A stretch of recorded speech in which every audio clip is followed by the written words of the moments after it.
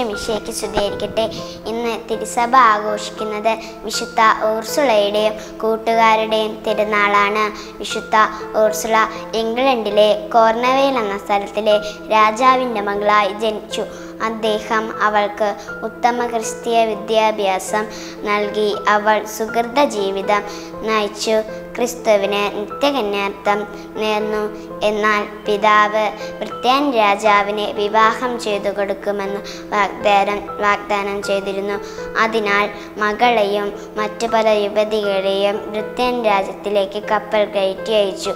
വിശുദ്ധ ഊർസുളയും കൂട്ടുകാരും സഞ്ചരിച്ചിരുന്ന കപ്പൽ ഒരു കൊടുങ്കാറ്റിലകപ്പെട്ട് മറ്റൊരു തുറമുഖത്തിൽ എത്തിച്ചേർന്നു.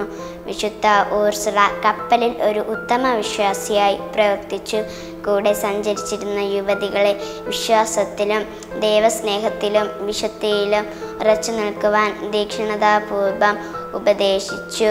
വിശുദ്ധ ഊർസുളയും മറ്റും തുറമുഖത്തിറങ്ങിയപ്പോൾ അവിടെ ഉണ്ടായിരുന്ന ക്രൂരരായ ഹൻസന്റെ കരങ്ങളിൽ പതിച്ചു. അവരുടെ പ്രധാനി ഊർസുളയെ വിവാഹത്തിനു ക്ഷണിച്ചു. ഞാൻ ക്രിസ്തുവിനെ വിവാഹ വാഗ്ദാനം ചെയ്തിരിക്കുന്നവളാണ്. ചാരിത്രഭംഗത്തേക്കാൾ മരണമാണ് എനിക്ക് ഭേദം എന്നവൾ പറഞ്ഞു.